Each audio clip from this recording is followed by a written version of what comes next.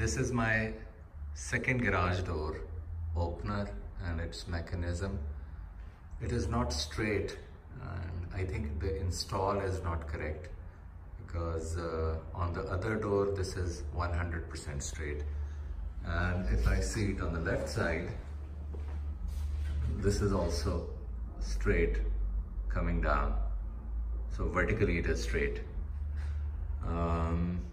if someone can comment and let me know whether this is going to cause any long-term issues or it is just okay and I can leave it as such. This one if you see it is not vertically straight it is extending out from the bottom. So let me know uh, if this is fine otherwise it is still under warranty and I will call that guy up. Thanks